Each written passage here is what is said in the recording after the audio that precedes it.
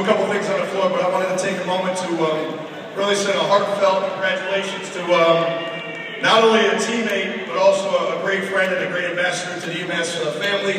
I think anytime we think of UMass basketball we think of the history and the great lineage that we've had here, obviously the name Marcus Camby in the, uh, the early to mid-90s come up. And um, it's great for me to say that number 21, number 21 will never be worn again in a UMass uniform.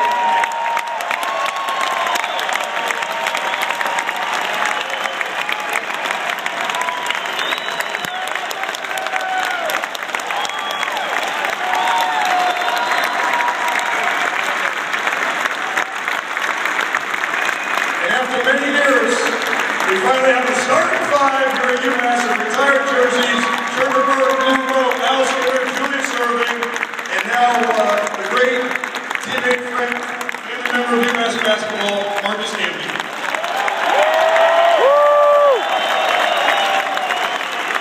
Thank you, Coach. And now, fans, please turn your attention to the video board as we begin